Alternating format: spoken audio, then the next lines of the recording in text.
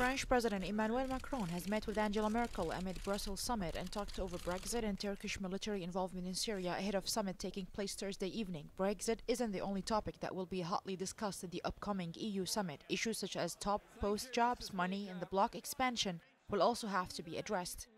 According to French President Emmanuel Macron, difference of opinions are part of every political partnership. He said that mostly recently in April when Germany and France took slightly different lines on Brexit. EU diplomats, meanwhile, say they do not foresee Franco-German cooperation stumbling. La position française et la position allemande se sont rapprochées à l'occasion du sommet de l'Union européenne. Ce n'était pas forcément évident qu'il y avait beaucoup de divergences. La première divergence, c'est que la France mm, est beaucoup plus dure ou souhaite être beaucoup plus rigoureuse par rapport aux nombreux reports que le Premier ministre et que sa prédécesseur du reste avaient imposés à l'agenda européen.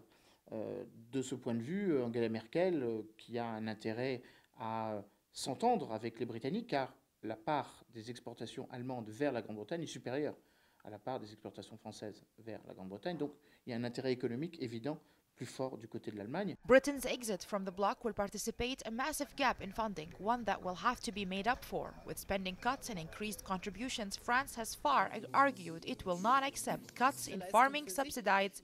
Germany wants more funding for innovation, migration, and future spending. Net recipients are fighting against investment cuts to a weaker EU regions, something that they will generate profit from. Agreement on the budget framework likely won't come until next year. Ce que cela signifie pour les Britanniques, c'est qu'on va enfin avoir la perspective d'un Brexit. On va enfin avoir la perspective d'un Parlement qui travaille ou qui ne soit pas abrogé ou qui ne soit pas pris en otage.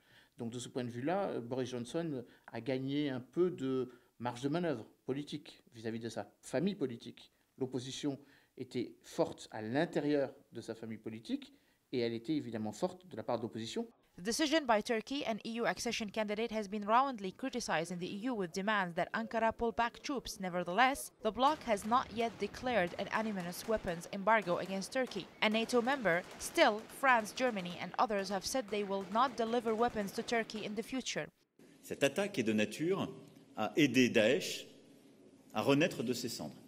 Ensuite, il y a parmi les conséquences de cette offensive, au-delà des sujets humanitaires, le sujet des combattants étrangers qui étaient en effet retenus dans des camps sur place. Sur ce sujet, je vais être très clair, il est aujourd'hui trop tôt pour, euh, répondre, mais d'une part, les conséquences que cela pourrait avoir, si c'était leur libération, c'est le retour pour ces derniers au combat sur le sol. The EU will not, however, take up France's proposal for economic sanctions. From the German standpoint, it is important to find a way to maintain support for Turkey in dealing with the more than 3 million refugees and migrants it currently houses. This is Farah Al Hashim reporting for KTV2 News, Paris.